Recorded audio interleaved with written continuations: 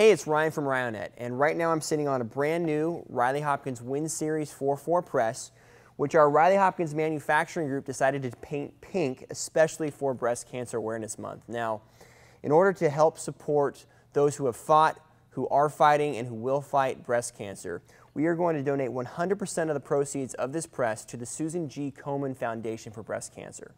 The press will go on sale on an eBay auction starting October 21st at noon and will last for 10 days. The starting bid is $500, so it will end on October 31st at noon. If you want to get an awesome one-of-a-kind new press and do some good stuff in the process, check it out. You know, thank you very much for watching, and everyone keep up the good fight against breast cancer.